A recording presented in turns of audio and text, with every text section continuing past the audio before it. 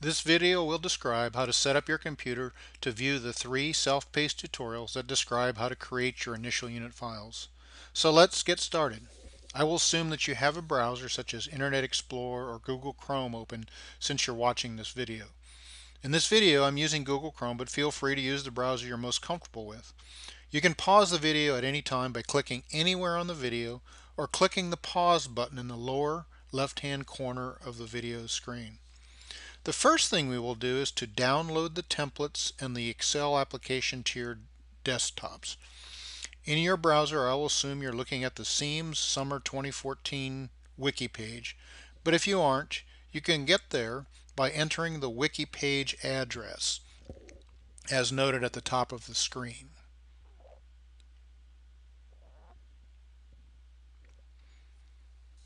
Now, click on the link on the left labeled Unit File Generator.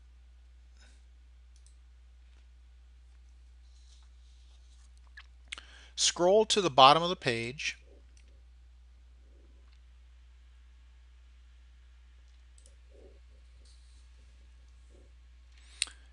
and click on the down arrow to download the Templates 2014 zip file.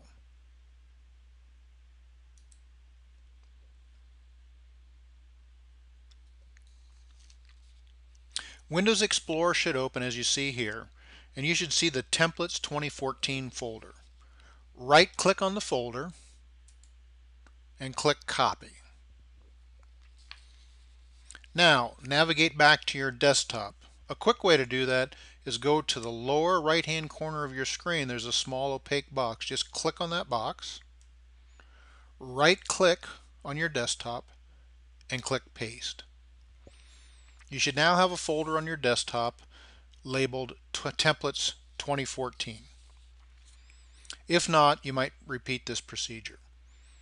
Now, double click on the Templates 2014 folder and then double click on the file labeled 3J CEEMS Unit File Generator version 30.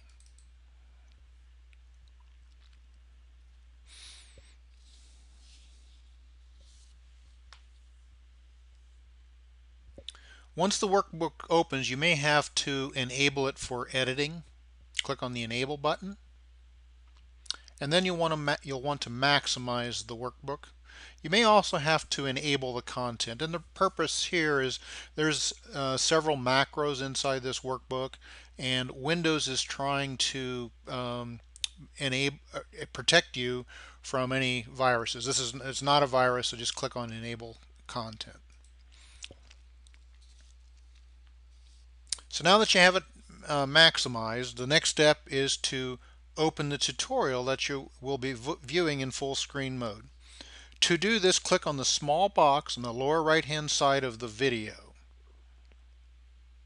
Now let's open the video first. And what I'm going to do is I'm going to go back to uh, Google Chrome.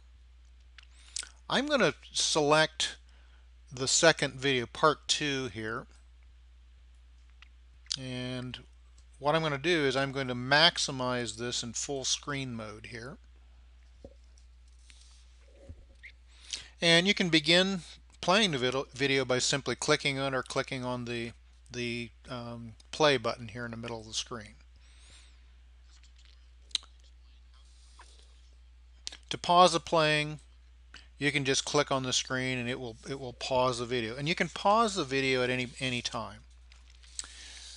Um, now let's talk about improving the video resolution. One of the issues that you may have is some of the text may be a bit blurred. Down here on the toolbar at the bottom there is uh, uh, something called settings. It looks like a gear. Click on that. Click on the quality button and make sure that the quality is set at the highest level.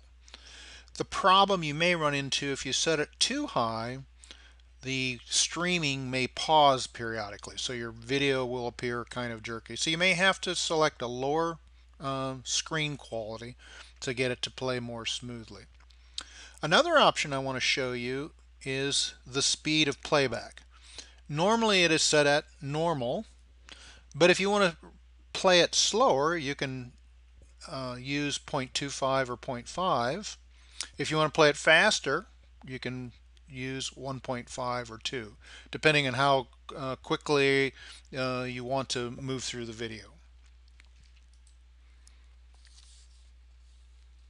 Lastly, uh, an alternative to using this method of viewing your videos um, would be to use a smart device. Um, oh, one of the things I forgot to mention is you can toggle back and forth between the video, the tutorial, and the unit file generator by holding your alternate key down and press tab. And what that allows you to do is just toggle back and forth. Notice you have a number of application or applications on the screen here. You have the desktop and so on.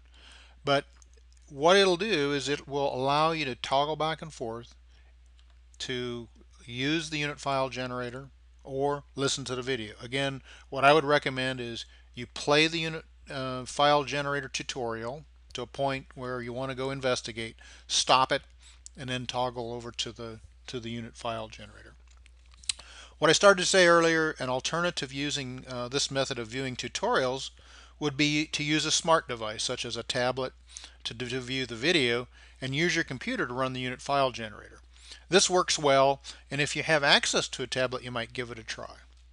So you should be ready now to watch the tutorials. If you have any questions regarding the tutorials you might contact your CEEMS coach.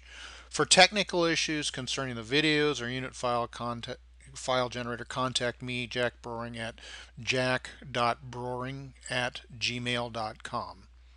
Thanks for watching.